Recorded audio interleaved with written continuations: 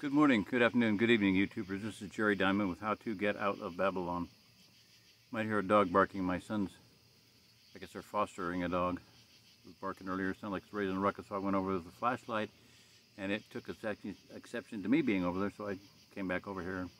By that time, the fire had flared up, so I thought I'd go ahead and do a video. Words from a watchfire. I have seen him in the watchfires of a thousand circling camps and I pray that happens. Um, I actually have a family who's intending on building a literal watchtower. They've followed me enough. They're border clan type people. Just love them to death. Amazing. They're planning on building a watch, literal watchtower with a watchfire in it, and uh, you know watchfire on it, and then a search and rescue team down below the watchtower. They're not on a bluff to my knowledge, but they have some pretty high visibility, so that is so exciting. Ephraim's Rescuers, that's the name of the operation. Ephraim's Rescuers. If you have not seen the movie, if you have not watched the movie Ephraim's Rescue, watch it. Find it and watch it on the internet. You can watch it on free on YouTube, I'm pretty sure. Okay, what's going on here? We're out of balance, out of level. Lock it down a little there. Okay.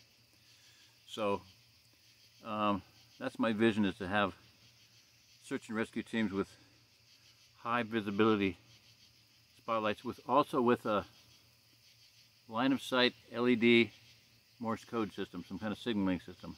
Morse code would be ideal, but nobody knows how to do Morse code. But there's going to be some young people that can do Morse code. I guarantee you that's going to happen. So you have a line of sight like a really high intensity LED with a spotter with a little tube on top of it so you for sighting. So you see a glimpse of beam in the distance of light. Like at a certain time, 9 o'clock at night, you fire off a, not a flare, but a, send a watch fire, like directional watch fire toward the east or toward the west, wherever you're coming from. You send it in the opposite direction. If you're coming from the west, you'd send it to the east, east send it to the west. Does that make sense? North to the south, south to north. But anyway, um, and so the watchfire would see that, the watchtower would see that flash of light at 9 o'clock or 10 o'clock at night, whatever it is, it's really, really dark enough to see it. And yet enough light, enough time to, before midnight, before early morning to get something done. So they would signal back and they would have communication by Morse code, by signaling. Could be a simple, simple system. The Hebrew alphabet would give you enough signals, enough um, ways to communicate, you know, you know, bearing, you give a bearing in degrees or whatever, come to just, you, the people that are coming in would go toward the watchfire, watch, toward the watchtower. Is all written out in my head.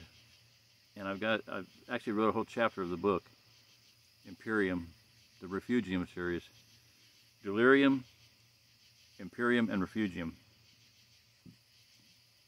Four syllables, eight letters, each of them. Look up each word. They're very powerful words in the English language, very absolutely loaded words. Refugium is a massively loaded word. Um, so anyway, back to my monologue tonight. Um, I'm feeling changes in my life. I'm seeing things. What goes around comes around. Things are coming around again um, for the third or fourth or fifth time, second time at least. And I've seen in my life about 2010, 11, no, I'm trying to think of Michael Stockinger. My friend Michael would know.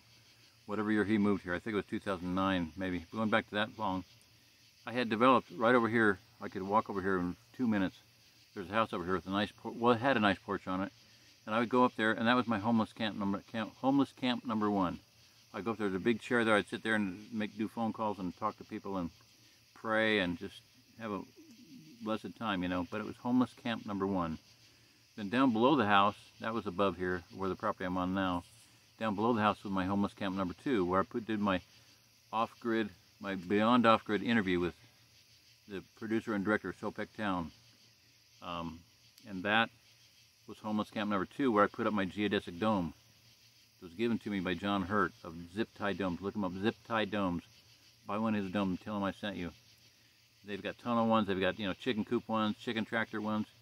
You can do all kinds of things with them. He can build them out of bamboo now. He found out that bamboo, he realized he built one out of bamboo because somebody there in Tennessee has a whole grove of bamboo and he built it out of that. And he said I could, these could be ten times bigger than my the ones I do out of PVC. He uses about four foot sections for the struts, but you can out of bamboo you can make them twice at least twice as long, ten foot or better, because it's so much stronger than PVC. So, and on the subject of bamboo, one time I had a teepee and I set it up one time in Stockton, Stockton Black Walnut Festival. For the three tripod poles, I, I used bamboo, cheap, junky river bamboo, cheap the stuff that rots every year. It breaks down and rots every year. The tips of them were the size of my fingers, the tops of them were, and I banded three of those together with strapping, bungee balls, and then I reinforced that with orange strapping tape, strapping fiber, strapping, yeah, orange shipping strapping, okay, ratchet, ratchet it down, okay. I wrapped them around to spiral it down and and called it good. And I did three of those for the tripod poles. You have to have three really good tripod poles.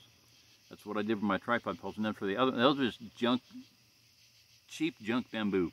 Then for my 12 other poles, I had two inch fiberglass military poles. Okay, four foot long. I put three or four of those together and made those, those are the other 12 poles to support the weight of the skin. And then I had a piece of hickory. The skin was so heavy, the outside teepee was so heavy because I sprayed it with um, ceramic cenospheres with uh, paint, and it was so heavy that I couldn't lift it with anything. So we, I had my little, my youngest son go out in the forest and get a big long hickory pole. So I tied it to that, and we got it up there. We got it set up. Actually, got it set up. But in the process of that, my first the first setup was out of whack, and it had to be everything. All the poles had to be adjusted because it wasn't right. You had to be, had to be a certain egg-shaped shape. If you know anything about teepees, I'll go into it. You know, not going to go into it at all. Take my word for it. They're very, very complicated. Simple and yet complicated. Brilliantly simple. Whew, I should have some water out here, and I don't. I may pause this and do another one, or do a second one. Okay, so because I had to move it, we had to just pick them up and move it with the weight of the teepee on it, with all the poles on it. In the process of doing that, the three cheap little half-inch diameter at the top bamboo poles, three of them, uh, so nine of them total, three, three, and three. What does the Bible say about three? a threefold cord is not easily broken. Well, threefold bamboo poles are not easily broken either. They broke one of the fiberglass poles in half. They snapped the top tip off. This is an interior tip, but it snapped the fiber and just snapped it right off. Busted it. Two inch fiberglass pole, which you think would be a lot stronger than bamboo, but it, it is not. Okay, so anyway, bunny trail. Sorry. My bunny trail. Um, no more bunny trails. Okay, rewind. Okay, so watch fires, TP. This is live. Somebody can say, "Hey, you're talking about this." Okay, so um, I got off on teepees for some reason. Uh, my family. Homeless camp number one, homeless camp number two, homeless camp number three. Okay geodesic domes. That's where I left off. Geodesic domes, bamboo versus PVC. Bamboo much stronger than, and if you get real bamboo like Moso, Moso, yeah, Most Moso is like construction grade. You can use it for rebar. It's it's rated for construction in the construction industry. You can use it for scaffolding. Maybe not legal here, but in China they do. 100 stories high bamboo scaffolding up that up that distance. Anyway, don't get off. No, no more bunny trails. Okay, stop it. Okay, no more, no more bunny trails. No NBT. No bunny trails. No bunny NBT. NBT. Okay, so homeless camp number two, and then homeless camp number three was where Michael Stockinger spent two weeks when he came here from Massachusetts or Connecticut. Connecticut. Connecticut. Yeah, he came from Connecticut. And then a, a little bit while, after that, uh, a sister, a lady from uh, Massachusetts came here. Both of them left, packed everything, sight unseen, came out here, packed all they owned and drove out here. They met here. There, I was with them when they first met, and they fell in love and got married and had a baby. So there you go. I play matchmaker once in a while. Hallelujah. Okay, so um, homeless camp number one, homeless camp number two, homeless camp number three. My point is this. I'm thinking about homeless camp number four. No, I'm just kidding. My point is this, though, is that um, when I was sitting up here all those years ago at the house over on the porch, I realized that I had been cast outside the camp. You know, outside the camp is where you put the sinners, the lepers, the criminals. You know, they were driven outside the camp. And it, does not the Bible say the Messiah was driven outside the camp? He was outside the camp. And it says that he, he was sent unto his own, but his own received him not.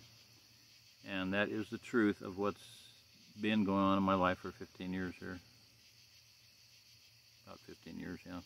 Because I realized going back to, like I said, before Michael Stocker got here, he spent the two weeks at homeless camp number three. So I'd already had homeless camp number one, two, and three. He was at number three. And that's where he spent two weeks in a tent. I think it was my tent. I don't remember. Yeah, I think it was. A nice tent that I had. And um, anyway, he, I found him a place on a farm, and he went down and helped him. He built himself a cabin from scratch, learned how to do it on YouTube and internet. Built himself a cabin. When he was done with it, when he moved on, he sold it for like $1,200 to an old couple that needed it. So very cool. So that was a blessing, really a blessing. And now he's in Arkansas on his own 40 acres. His, his son owns 40 acres. His mother bought it and gave it to them. So anyway, that's really cool. Good, good ending of that story. As far as Michael and Jacob go, blessings on them, and may, may God protect them and bless them and cause them to prosper. May His face shine upon them and be gracious unto them and give them peace and salvation and safety and guidance by angels. Okay, so back to my story here. Um, he was sent unto his own, and his own received him not. So, one time at the house, um, I will say my ex-wife stood over me like mocking and saying, well, the Bible says that prophets are not without honor except in their own hometown or their own home. So you should just expect to be treated like this because she knew that you know there's such a abusive, abrasive, and nasty and you know vicious attacking going on that I should be I should be expecting that. Okay, I should have been expecting that, sure. So I realized after that up here and almost got my one, one, two, and three, that yeah, I was driven outside the camp, and I knew that. I felt that in my heart and soul, and the Lord showed that to me. You've been driven outside the camp. You went to your own, and your own that that scripture came to me tonight. You have you have come into your you were sent unto your own, and your own received you not. I've been rebuffed at every turn, and um, I just pray that I leave it all in the Lord's hands. As for me and my house, I